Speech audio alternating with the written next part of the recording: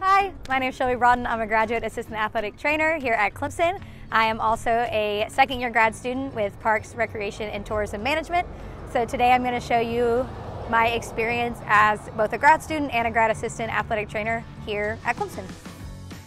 I chose graduate school at Clemson because not only does it have some of the best programs in the country, but my mom and brother were also graduates of Clemson. And when I got the opportunity to come here, I just couldn't say no. For people looking to go to grad school, I would say think of grad school as either an experience to expand on what you already know and love, or as a way to get out of something you may not be as passionate about.